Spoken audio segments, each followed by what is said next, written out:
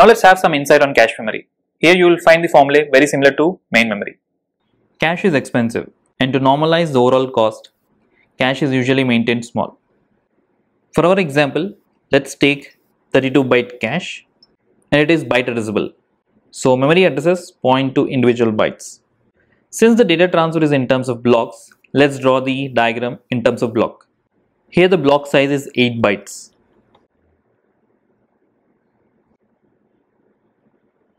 And the number of blocks is cache size by block size that is 32 by 8 that becomes 4 blocks. And to avoid confusion with main memory, let's not call them blocks, let's call these as lines. So 4 lines. So this is line 0, then line 1, line 2 and line 3. So these are the 4 lines.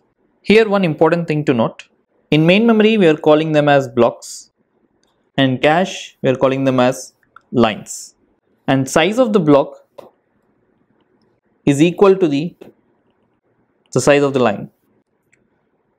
So the block is 8 bytes, the line also will be 8 bytes, something like that. Now going back to the previous slide, the cache memory size is given as 32 bytes. So I can write as CS is 32 bytes that is 2 power 5. So we need 5 bits to uniquely identify the data items in the cache. Let's call these address bits as cache address bits. So cache address bits is 5 bits. Then here block size is 8 bytes which is 2 power 3. So we need 3 bits for block offset. Sometimes it is called as line offset because line and blocks are same. So line offset or block offset both are same. Next the number of lines we got as 4 that is 2 power 2 lines. So we need 2 bits for indexing.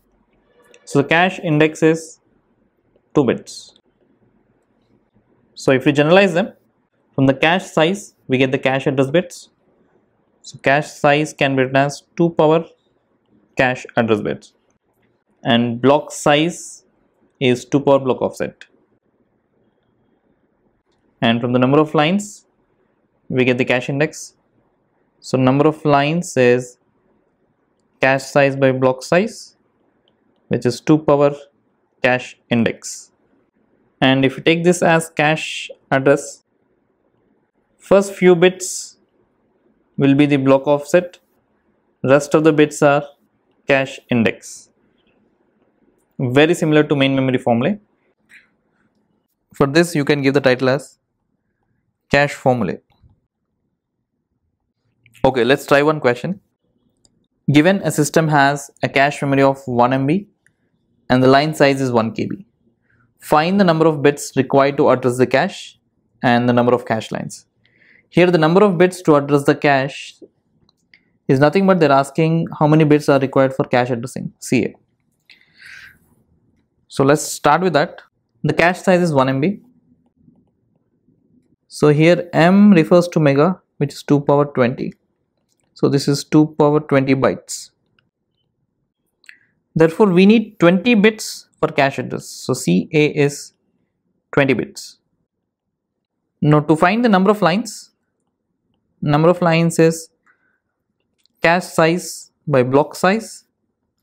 So it is 1 MB by 1 KB 1 MB is 2 power 20 and 1 KB is 2 power 10 this is 2 power 20 minus 10 that's 2 power 10 lines. Let's try one more question. A byte addressable system has 1 GB main memory and 256 KB cache and 32 byte block. Find the number of main memory blocks and bits required to index the cache. Alright, let's write the given data. Main memory size is 1 GB.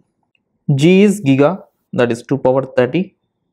So this is 2 power 30 bytes and block size is 32 bytes that is 2 power 5 bytes.